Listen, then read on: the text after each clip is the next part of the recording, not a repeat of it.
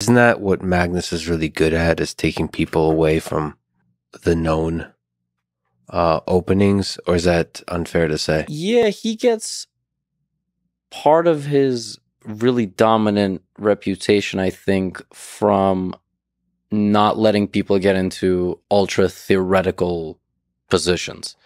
He just won this tournament, this online tournament, and he said he had a, a young player strategy.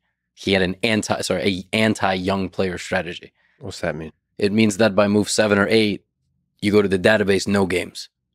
Nice. Kid is on their own. They have to swim on their own. Yeah. And they have to deal with the strategic complexities of the position, which he just he gets. And he might get from just an enormous database within his brain of historical games that have similar structures or just sheer genius. Like we we we won't know. Yeah. It's a mix of the two for sure.